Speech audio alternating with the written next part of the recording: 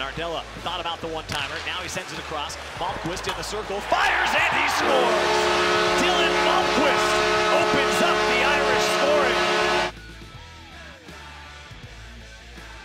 Cuts toward the middle, takes the shot off the stick of Morris. Puck flutters up in the air. Puck rolls around the boards all the way to the left side and tipped out to center ice by Crawford. Partial breakaway. Crawford, right side, walks in front, forehand, he shoots, he scores! First career goal, first career point. It's a shorthanded goal for Pierce Crawford.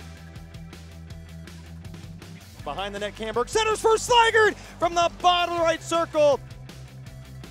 Now to O'Leary, bottom left circle, down low, Malmquist flips it on goal, save Lavigne.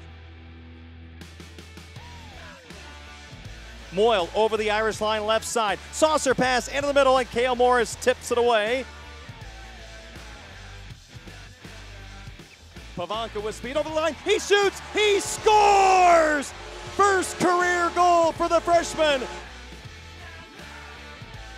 O'Leary wins it. Graham takes a shot. He scores from the left circle. He shoots it over Lavigne.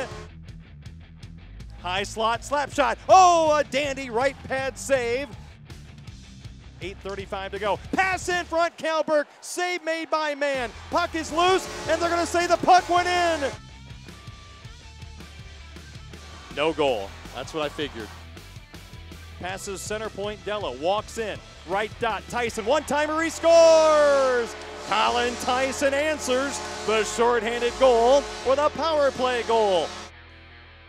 And that's a Fighting Irish winner.